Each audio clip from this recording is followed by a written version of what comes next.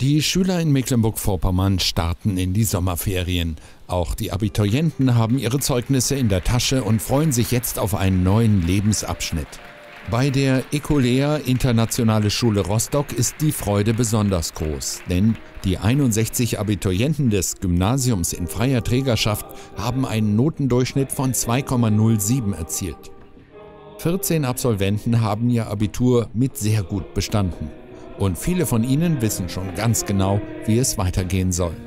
Ich werde jetzt erstmal den Sommer überarbeiten und dann möchte ich gerne äh, im Herbst mit meinem Freund nach Australien fliegen und dann wollen wir mindestens zehn Monate lang Work and Travel dort machen. Ich will jetzt studieren an der Universität Rostock hier äh, biomedizinische Technik. Äh, ja, und ich hoffe, ich habe eine richtige Entscheidung getroffen, aber nicht, dann mache ich nochmal einen Umweg. So wie es aussieht, noch ein Jahr Pause, bisschen arbeiten, reisen und danach Maschinenbau in Rostock. Würde gerne hier bleiben.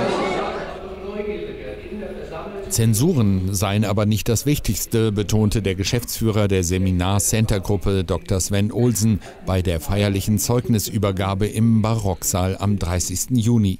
In erster Linie gehe es bei der Ecolea darum, mündige Weltbürger aus der Schule zu entlassen, die in der Lage seien, ihr Leben selbst in die Hand zu nehmen.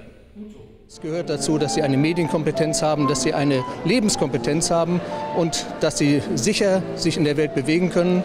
Unsere Schüler haben noch etwas weiteres. Sie sind nämlich interkulturell gebildet. Aufgrund der hohen Sprachkompetenz, die sie im Rahmen ihrer Schulausbildung erwerben, können sie sich im globalen Maßstab bewegen und das schafft Sicherheit. Uns ist wichtig, dass das soziale Miteinander gefördert wird. Toleranz und Internationalität werden bei uns großgeschrieben und so entlassen wir unsere Schüler auch wohl wissend, dass sie ähm, Konfliktsituationen gut bewältigen können und vor allen Dingen teamfähig sind. Ecolea steht für eine ganzheitliche Bildung, bei der das respektvolle Miteinander und das Verantwortungsbewusstsein für die Gesellschaft gefördert werden soll. Weitere Standorte der Ecolea Internationale Schule gibt es in Schwerin und Güstrow.